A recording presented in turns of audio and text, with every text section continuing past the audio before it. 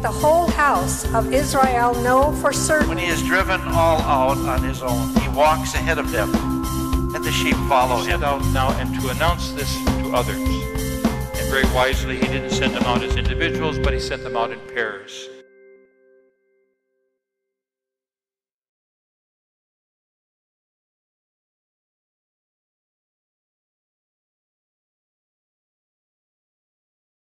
Greetings to all of my sisters and brothers in the Archdiocese of Milwaukee.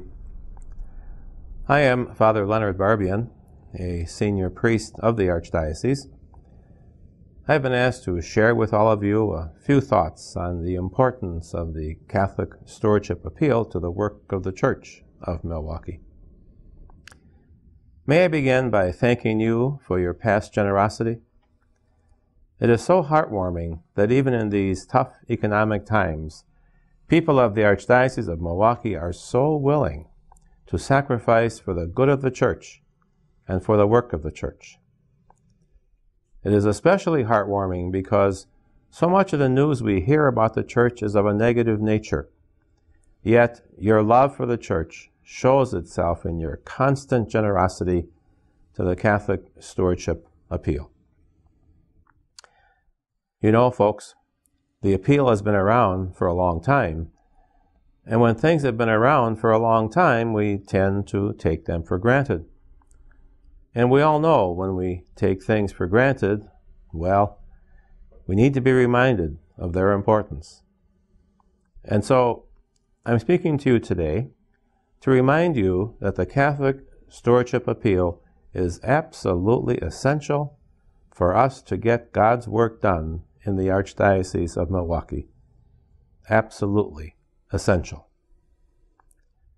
What do I mean by getting God's work done?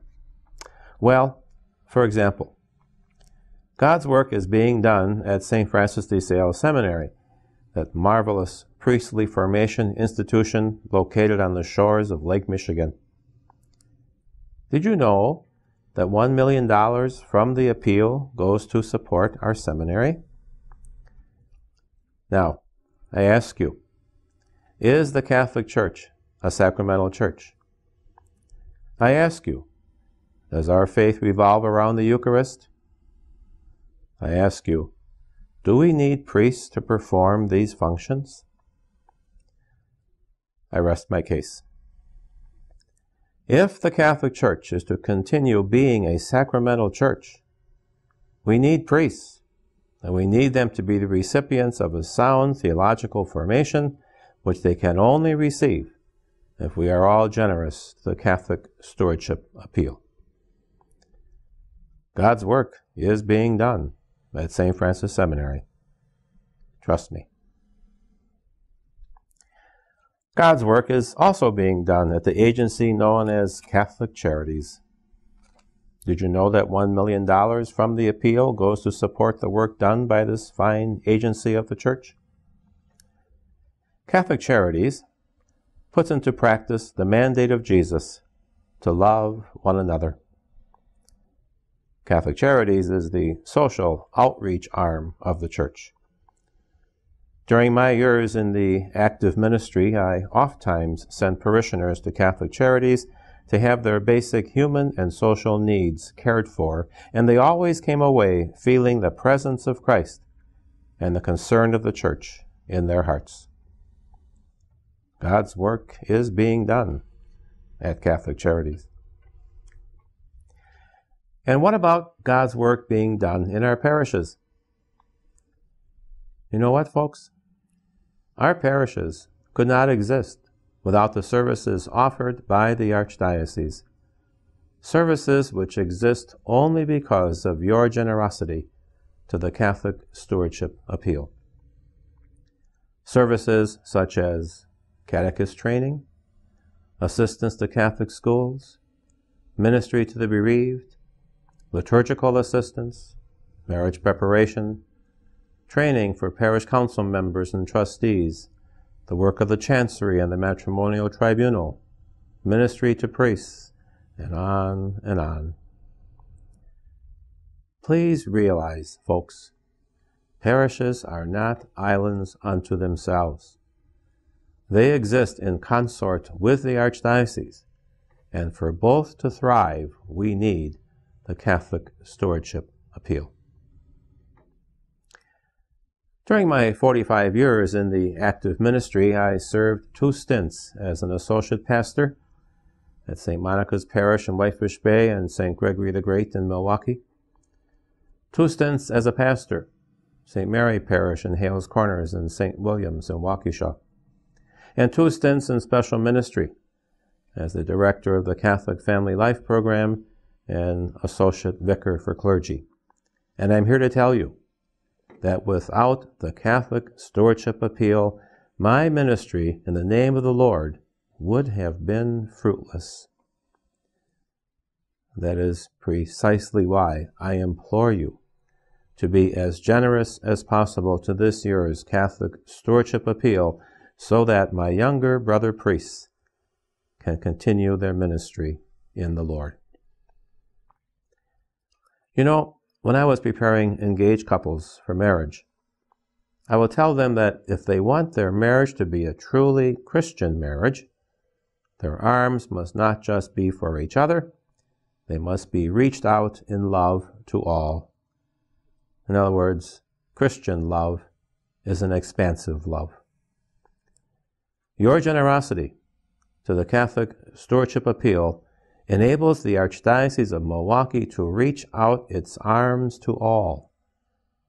Your generosity to the Catholic Stewardship Appeal enables the Archdiocese to live love as an expansive virtue. Please know how important you all are to the work of the Church. Please know how important you are in helping to get God's work done. And please know how very much your generosity to the Catholic Stewardship Appeal is profoundly appreciated.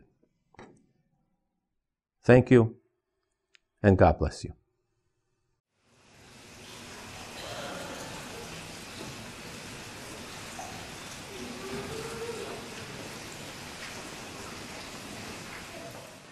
And as we gather together, let us all rise and join together on page 26 Jesus Christ is risen today.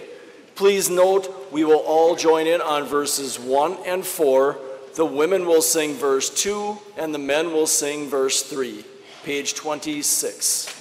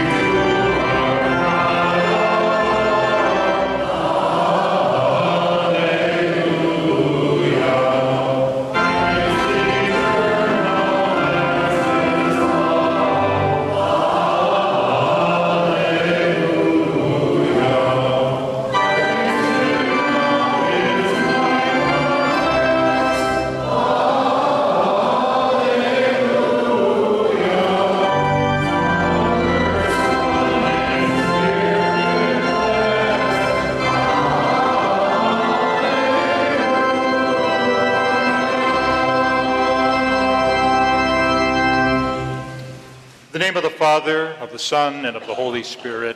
Amen. Amen. The grace and peace of God our Father and the Lord Jesus Christ be with all of you.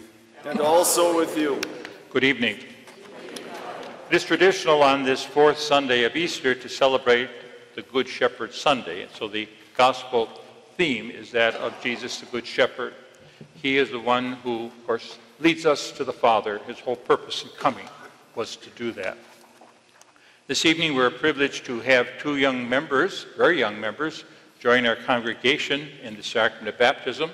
And once again, it'll provide us with the opportunity to renew our own baptismal promises and recommit ourselves to that mission of Christ, leading others to the Father. And so we begin by asking the parents this question Jason and Courtney, what name have you given your child? Okay. And what do you ask of God's church for Molly Rose? Okay, all right.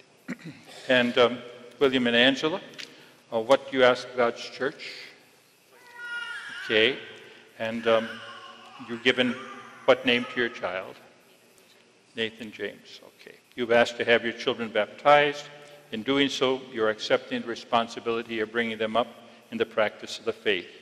It will be your duty to bring them up to keep God's commandments as Christ taught us by loving God and neighbor. And so I ask you, do you clearly understand what you are undertaking? Okay. And do you clearly understand what you are undertaking? Okay. Godparents, for Nathan, that would be Benjamin and Lisa, and for Molly, James, and Jennifer, and all members of St. James congregation here present, are you willing to help these parents in their duty as Christian parents? We are. Okay. Nathan James and Molly Rose, the Christian community welcomes you with great joy. In its name, I claim you for Christ, our Savior, by the sign of the cross. I trace it now on your forehead. Invite your parents and godparents to do the same.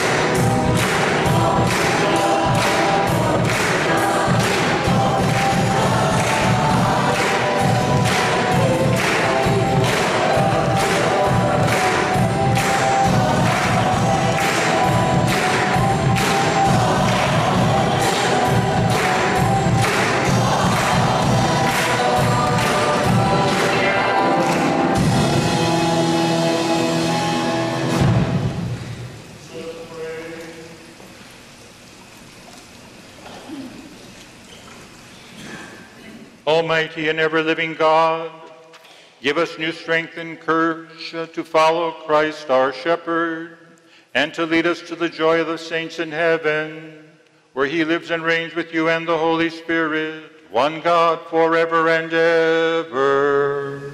A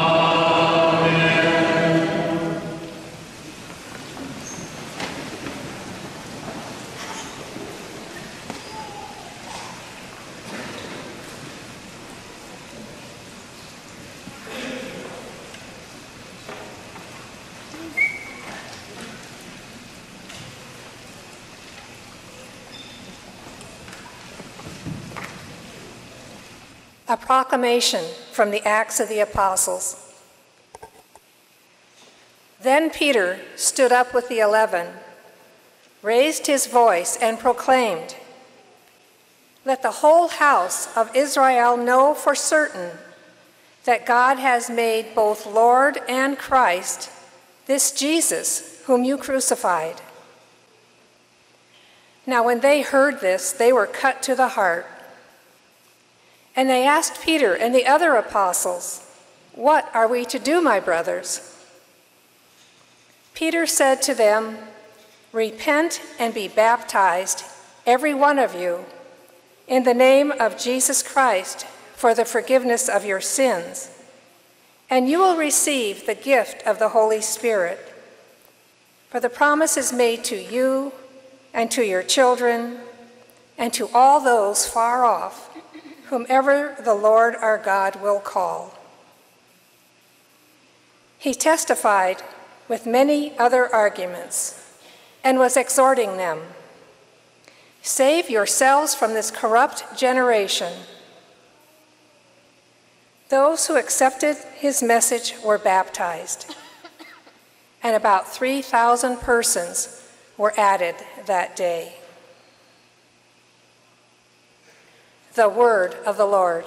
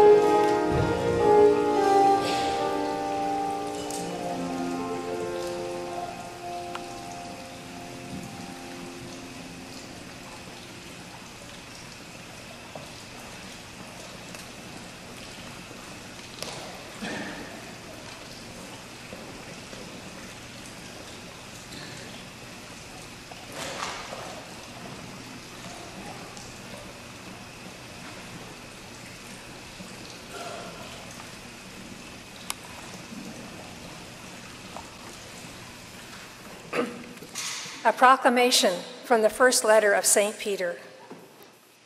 Beloved, if you are patient when you suffer for, what, for doing what is good, this is a grace before God.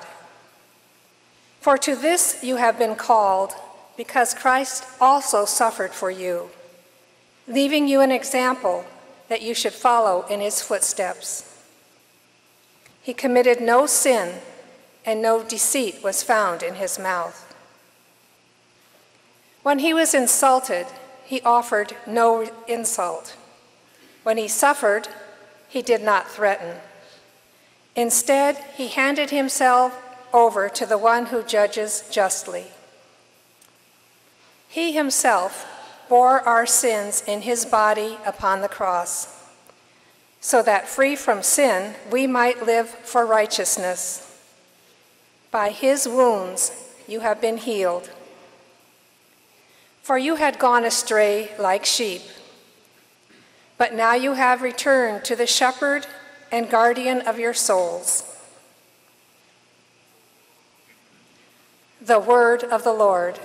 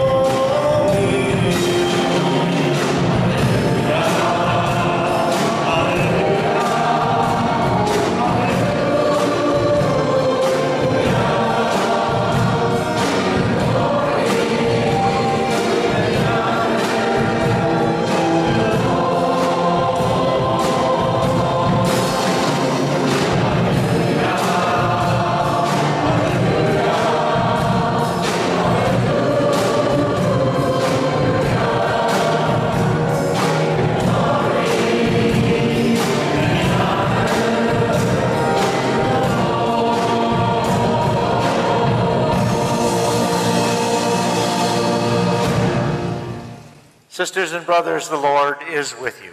And also with you. Proclamation of the Holy Gospel according to the tradition of John. And Jesus said, Amen, amen, I say to you, whoever does not enter a sheepfold through the gate, but climbs over elsewhere, is a thief and a robber.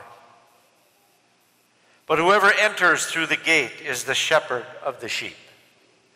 The gatekeeper opens it for him, and the sheep hear his voice as the shepherd calls his own sheep by name and leads them out.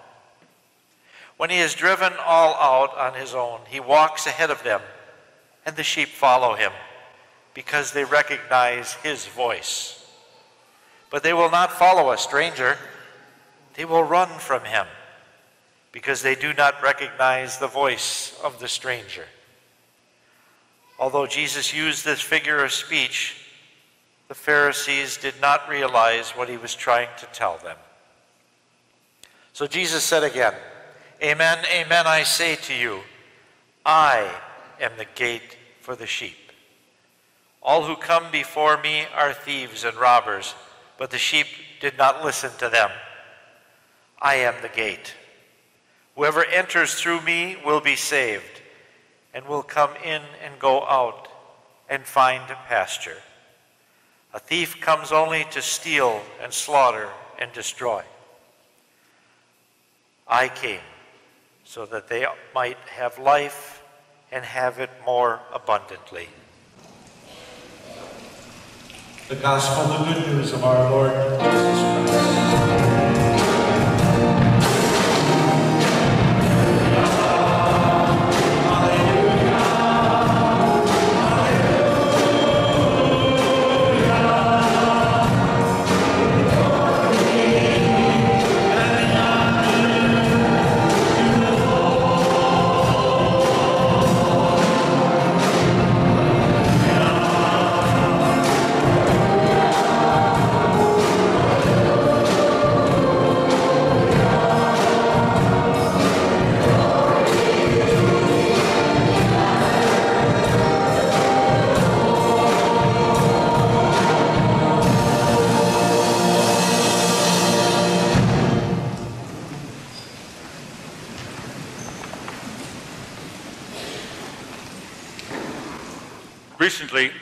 I received a little holy card depicting the Good Shepherd.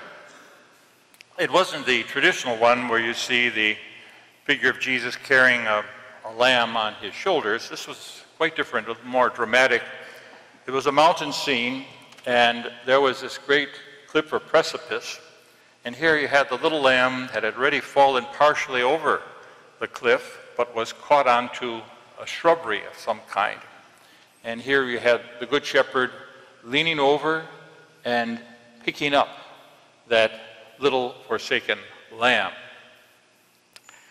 And I thought to myself, I wonder how many in- times in my life Jesus had done that for me. And suddenly it came clear many times. Just physically, I think of the times that our Lord had rescued me. When I was a child, I had terrible blood poisoning.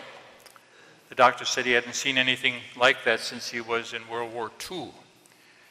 And then there was a time in my freshman year high school, just two months into high school, I got hit by a truck.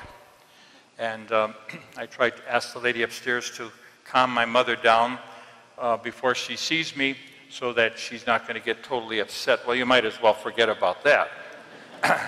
it was a disaster. And then there were the two times I nearly drowned. I she knew about the first one because she got a note from the lifeguard saying that he saved her son, but she never found out about the second one, as I thought one of those was enough. Now you say why mothers get grave. I, I was the only child, but I think I gave her enough to worry about, probably more than a mother of a large family. But then there are other ways in which I feel the Good Shepherd rescued me spiritually many times, and in other tight situations I was in, you say a sudden prayer, Lord, help me. Now, help me in this situation. I'm desperate. And nine times out of ten, he certainly does help me. And even the tenth time because I didn't recognize it. This evening, because the image of a sheep and shepherd may seem distant to us in our own culture, it's a little hard to relate in a way to what our Lord is saying. But he's certainly talking about spiritual role that is his. And so I think it's a little bit easier to understand if we think of him as spiritual leader, sent by God to lead us, as I mentioned at the beginning of our celebration this evening, sent by God the Father to lead us to God the Father. In other words, to follow in the footsteps of Jesus, our spiritual leader. Our Lord said very clearly, I am the way and the truth and the life. In other words, follow me.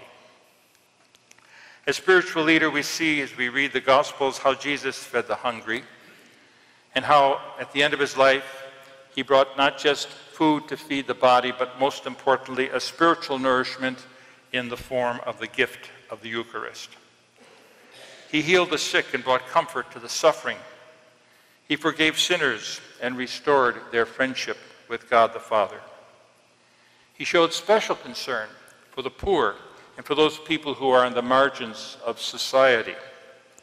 And he did rescue those who are lost and brought them back. Our Lord, too, as spiritual leader, had to make many decisions, admitting that he couldn't fulfill that mission that God the Father had given him without the help of other people. And so it was then that right from the outset, he appointed those 12, whom we refer to as apostles, whom he taught and whom he formed spiritually and every other way possible to be his faithful followers. And then there were the 72, men and women, who were very close to him and followed him as he walked the hills of Galilee. And these, of course, were the disciples. And then at one point, he made the decision to send these people out because he felt that they have learned enough, they experienced enough of him and his mission to be sent out now and to announce this to others. And very wisely, he didn't send them out as individuals, but he sent them out in pairs so that they could encourage one another and help one another in that important mission. And finally, he made the decision just before he left at the very end of his life to commission his apostles now to go out to the whole world, the whole world, not just simply the Jewish people, but the whole world, to proclaim universal salvation. These were the important, some of the important decisions that Jesus, as spiritual leader, had made. He was a leader in another sense, as prophet and teacher. He said those things people needed to hear, that we need to hear, and even, perhaps especially, those difficult things that we need to hear that a prophet is known to do. He taught us about God our Father, about the need for conversion and change of heart. He spoke up in defense of the poor and against those burdens, those heavy burdens laid upon them by Jewish religious authorities. And because of this, especially because of this, he faced harsh opposition in his life. And finally, Jesus paid the ultimate price of leadership where he laid down his life for our sakes. Most of us in our lives, whether we realize it or not, have had or maybe presently do have roles of leadership in one form or another. Certainly as parents. As parents, you may not necessarily think of yourselves as leaders, but the leadership, the example that you give to your children, nobody else can give. It is so terribly important. In fact, we refer to the family as a church in miniature. Christ is present in every, every family, and he's there in and through you, teaching your children. And certainly, those of you who are teachers in public schools, private schools, Catholic schools, you play an important role in terms of leadership. Many of you are leaders in our communities or groups that you belong to. In our own parish communities, here, for example, at St. James, as members of the parish council, parish committees, various volunteer projects, all forms, very important forms of leadership. And then, of course, there are those who are the pastors. They are among us called to leadership roles after the example of Jesus. They are called to continue to nourish persons with the Word of God and with the Eucharist, to bring God's forgiveness and reconciliation, to comfort the sorrowing, to welcome new members through the waters of baptism, as we will do this evening, and welcoming two new members to this community and certainly to teach and to preach prophetically as Jesus did. And finally, as spiritual leaders, pastors too have to be administrators of parishes. This is, in many cases, not their favorite responsibility, but they recognize it as a very important one. And I summed up in three things what I feel is expected of a pastor, and those are things that he cannot do without your help. First of all, to discern, to discern the needs that exist within the parish and the larger community. And then beyond that, where are the gifts and where are the resources that can fulfill those needs? That's something that he cannot do alone. And that's why a parish council is so important. I think so often parish councils feel that, well, we're here to talk about roofs or asphalt on the parking lots or wages and benefits and all of those things. And there are committees that handle those things. Important work of a parish council is precisely to help the pastor in developing a vision of the parish and what are those needs and gifts, and to try to bring the two together. Discernment. And then to decide on important issues discernment and decision making. It comes a time where a decision has been made, has to be made, and it's not always an easy one because everybody does not necessarily agree. But the pastor is in a position to do that, and he must do that for the sake of the parish and to move on. So after her, having heard uh, the opinions of people, various opinions in the parish, and trying to bring a certain unanimity, a decision must be made. Discernment, decision, and finally, delegation. He cannot, as pastor, do it alone. He must remind everyone that we are in this together, fulfilling the mission of Christ, furthering the mission of the Good Shepherd. And so it is then that he calls upon all of you, as we heard in the prelude uh, uh, statement this evening before Mass began, Father Barbian spoke about that greater mission of the Church in the Archdiocese. It cannot be done by the Archbishop alone, or by the priests alone, or even by uh, persons who are prepared in various ministries to do it alone. Everybody is in this together. Discernment, decision making, and delegation. Finally, as we renew our own baptismal promises this evening during the sacrament of baptism, let everybody here this evening rededicate themselves to follow closely in the footsteps of Jesus, our Good Shepherd, who by word and example leads every one of us to God our Father. At this time, I will have the families join me as we process to the baptismal font.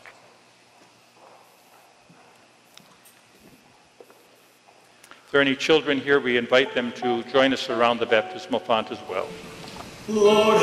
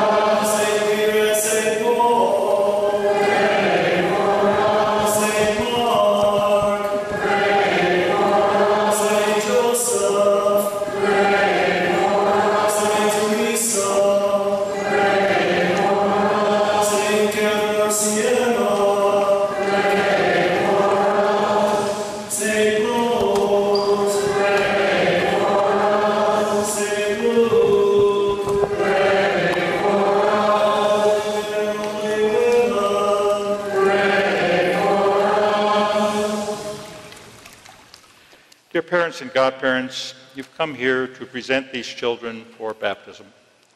By water and the Holy Spirit, they are to receive the gift of new life from God who is love. On your part, you must make it your constant care to bring them up in the practice of the faith. See that the divine life which God gives them is kept safe from the poison of sin to grow always stronger in their hearts. If your faith makes you ready to accept this responsibility, renew the the vows of your own baptism. Reject sin, profess faith in Jesus Christ. This is the faith of the church. This is the faith in which these children are about to be baptized. And so I invite everyone who is here this evening to join in the renewal of your baptismal promises by responding, I do, to each of the questions. Do you reject sin so as to live in the freedom of God's children? I do. Do you reject the glamour of evil and refuse to be mastered by sin? I do you reject Satan, father of sin prince of darkness? I Do Do you believe in God the Father Almighty, creator of heaven and earth? I Do you believe in Jesus Christ, his only Son, our Lord, who was born of the Virgin Mary, was crucified, died, and was buried, rose from the dead, and is now seated at the right hand of the Father? I Do you believe in the Holy Spirit, the Holy Catholic Church, the communion of saints, the forgiveness of sins, the resurrection of the body, and life everlasting? I do. This is our faith. This is the faith of the Church. We're proud to profess it in Christ Jesus our Lord. Amen. Amen. William and Angela, we'd ask you to come forward. The assembly can be seated. I'm going to have you, uh, sure. Just maybe I'll put this over your arms so you don't get wet. Okay, that's fine. And it is Nathan James. Nathan James, I baptize you in the name of the Father, of the Son, and of the Holy Spirit.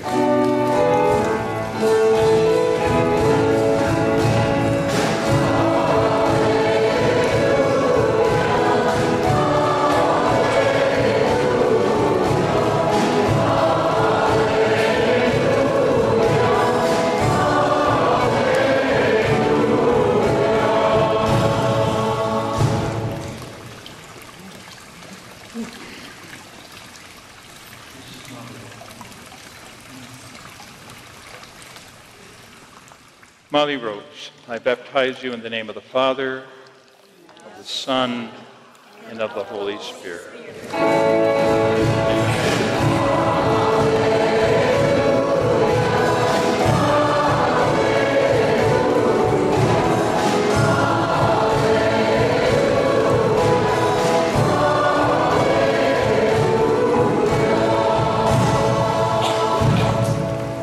Father our Lord Jesus Christ has freed you from sin and given you new birth by water and the Holy Spirit and welcomed you into his holy people. He now anoints you with the chrism of salvation as Christ was anointed priest, prophet, and king, so may you always live as a member of his body, sharing everlasting life.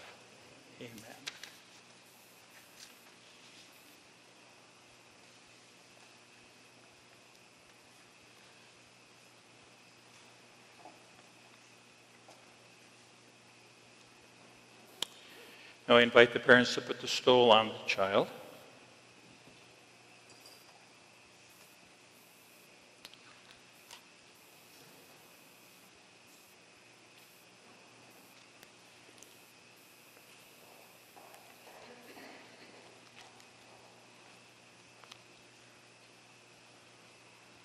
Nathan, James, and Molly Rose, you've become a new creation and have clothed yourself in Christ. See in the white stole you're wearing the outward sign of your Christian dignity. With family and friends to help you by word and example, bring that dignity unstained into the everlasting life of heaven. Parents and godparents, this light is entrusted to you to be kept burning brightly. These children of yours have been enlightened by Christ. They are to walk always as children of light. May they keep the flame alive in their hearts, and when the Lord comes, may they go out to meet him with all the saints in the heavenly kingdom. The light of Christ. The light of Christ. Now it's my pleasure to introduce our newly baptized members to St. James Parish. Let's offer them.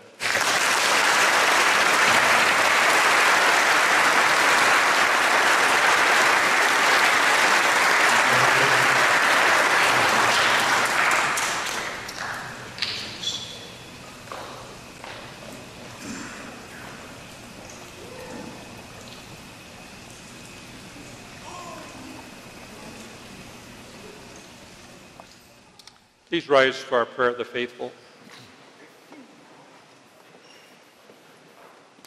Having welcomed these new members into our midst, St. James community, and having renewed our own baptismal experience, the baptismal promises, we are a renewed people in our commitment to Christ, the Good Shepherd, and to his mission of bringing all of us to the Father.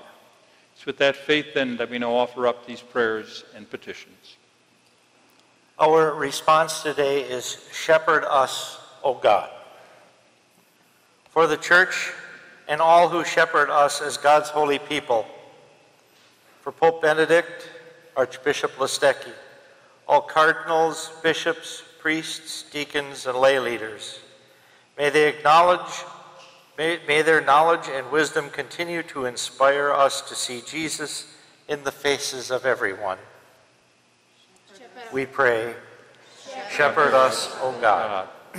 For all of us gathered here and for all Catholics around the world, may our faith be firm and strong in our knowledge that as Easter people, light and resurrection will always triumph over darkness and death. We pray, shepherd us, O God. for parents who shepherd their children, and for all the shepherds in our lives pastors, teachers, counselors, coaches, government leaders, managers, supervisors, and for good friends. We pray. Shepherd us, O God. Let us pray for those who have powerful voices, for those in authorities whose decisions affect the lives of many people, for those in the media, for celebrities, for leaders in government and in the church, for teachers, for all who have been given the gift of influence. We pray. Shepherd us, O God that those returning to the church to celebrate with us during the Easter season may be blessed with a renewal of faith and a closer walk with the Lord. We pray. Shepherd us, O God. For the 144 young people who will be confirmed here tomorrow afternoon, may they always recognize the presence of God in Scripture, in the Eucharistic celebrations, and in each other. We pray. For those in the midst of change, for those who will graduate this year, for those preparing for marriage, for those who are moving or starting a new job, for trust in the presence of God as our lives change. We pray. Shepherd us, O God. For Nathan James and Molly Rose, who began their faith journey today in baptism, may they always be welcomed by this parish community. We pray. Shepherd us, O God. We remember those who have died, especially Ronald Larson. For all who are mourning, who each day are filled with a longing for the presence of someone they love. And especially this evening for Janet Fisher, for whom this Eucharist is offered. We pray. Shepherd us, O God. God, loving Father, help each one of us to recognize the leadership role which you have given us in life and help before us the example of Jesus, the Good Shepherd. May we follow in his footsteps. We ask this through Christ our Lord. Amen. Our presentation song is found on page 30 and 31, Love Grows Here, page 30 and 31.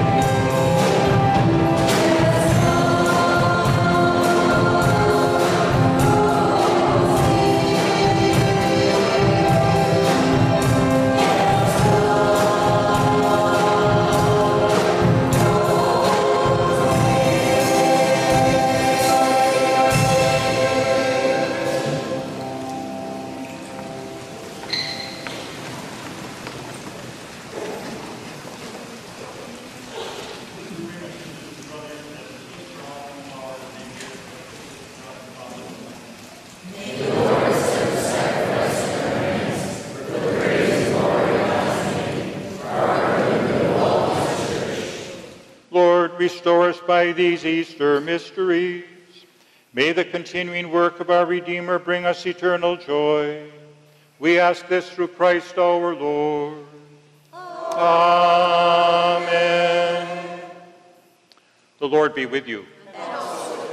Lift up your hearts. Let us give thanks to the Lord our God. Father, all powerful and ever living God, we do well always and everywhere to give you thanks through Jesus Christ our Lord. We praise you with greater joy than ever in this Easter season, when Christ became our paschal sacrifice. He is the true Lamb who took away the sins of the world. By dying, he destroyed our death. By rising, he restored our life. And so, with all the choirs of angels in heaven, we proclaim your glory and join in the unending hymn of praise.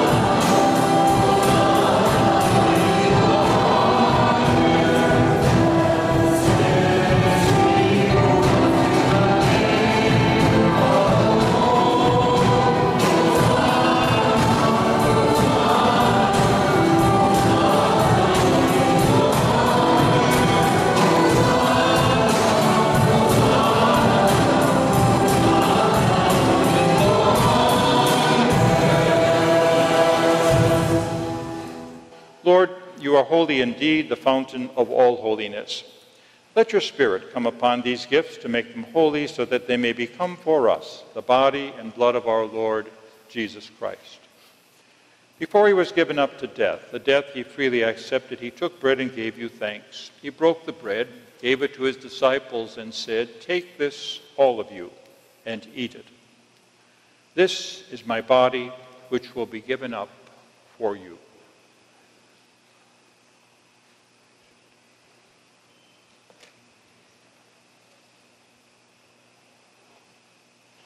When supper was ended, he took the cup. Again, he gave you thanks and praise, and gave the cup to his disciples, and said, Take this, all of you, and drink from it. This is a cup of my blood, the blood of the new and everlasting covenant. It will be shed for you and for all, so that sins may be forgiven. Do this in memory of me.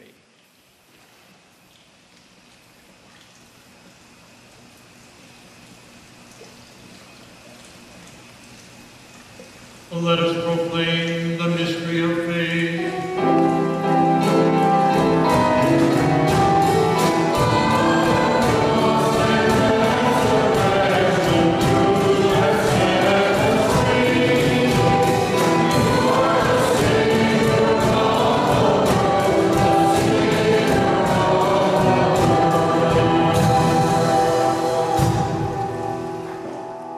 Memory of his death and resurrection, we offer you, Father, this life giving bread, this saving cup. We thank you for counting us worthy to stand in your presence and serve you.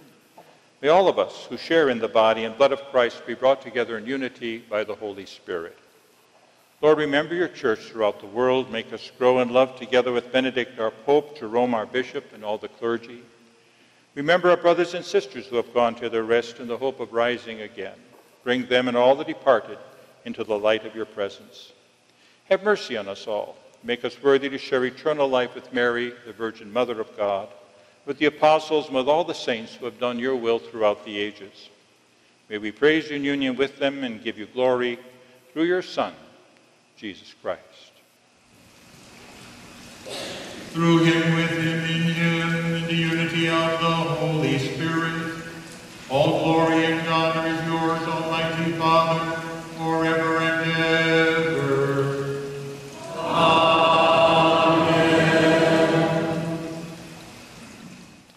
United fellow Christians throughout the world on this Good Shepherd Sunday, we pray now to God our Father in the words that Jesus gave us.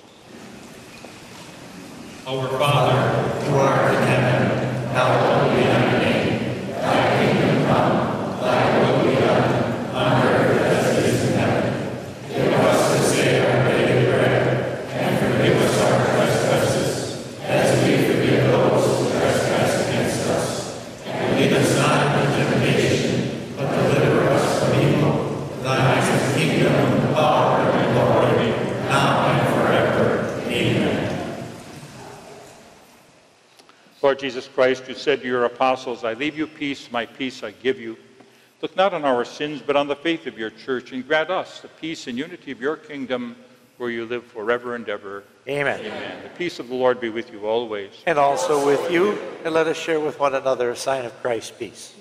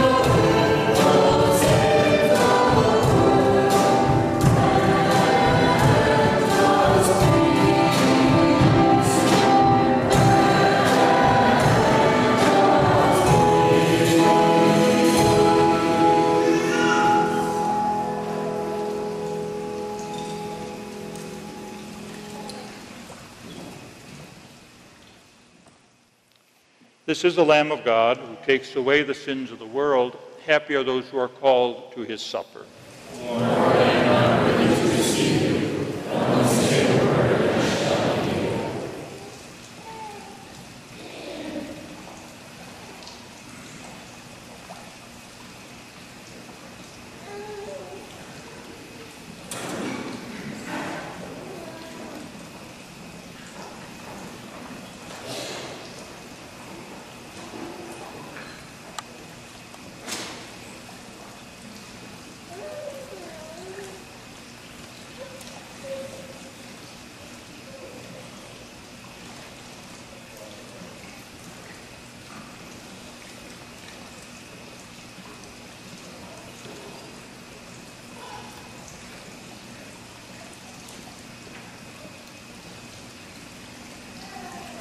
Let's take in community to our brothers and sisters who are not with us this evening and are invited to come forward.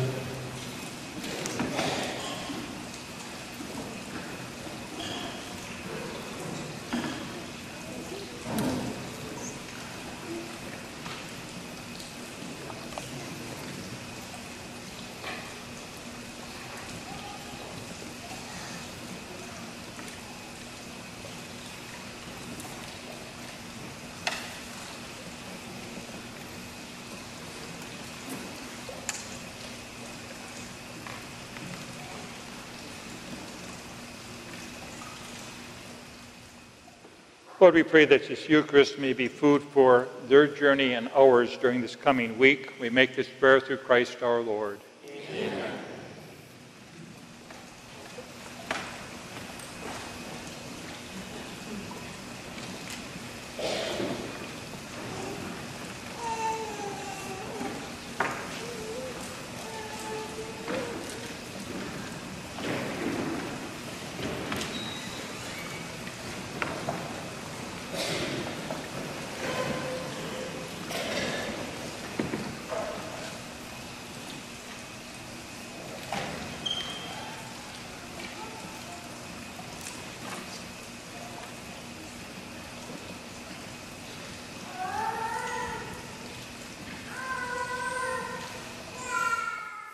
Pray. Father, eternal shepherd, watch over the flock redeemed by the blood of Christ and lead us to the promised land. Grant this through Christ our Lord. Amen. Bow your heads as we pray for God's blessing. Through the resurrection of Christ his Son, God redeemed us and made us his children. May he bless us with joy. Amen.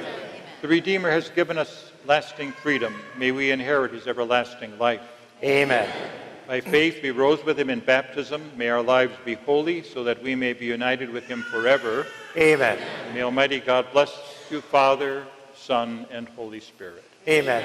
Our Mass is ended. Let us go in peace to love and serve the Lord and one another. Thanks be to God. And as we go forth, let us all turn to page 20 and sing together Some Young Carpenter, page 20.